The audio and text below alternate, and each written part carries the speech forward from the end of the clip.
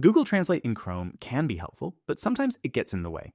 If you find yourself annoyed by constant translation prompts, you can turn this feature off in just a few steps.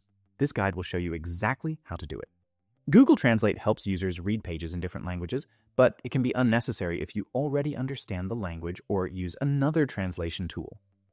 Disabling it can also prevent accidental translations and keep your browsing experience smooth. So, here is a step by step guide to disabling Google Translate in Chrome. Start by opening Google Chrome on your computer. Then follow these simple steps. Click on the three dot menu in the top right corner of the browser window. In the drop down menu, click on Settings. On the left side of the settings page, click on Languages. And on the right side, find the section labeled Google Translate. Look for the option that says Use Google Translate. There will be a toggle switch next to it.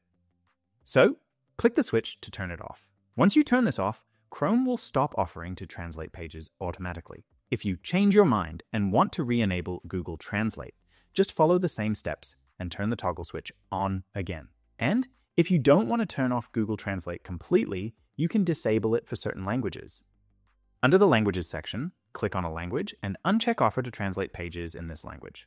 But if you prefer another translator, you can install an extension from the Chrome Web Store. Google Translate is useful, but it's not for everyone.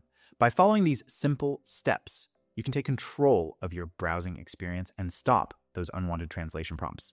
So I hope you found this video helpful, and if you want, like the video and subscribe to the channel for more tutorials about Google Chrome.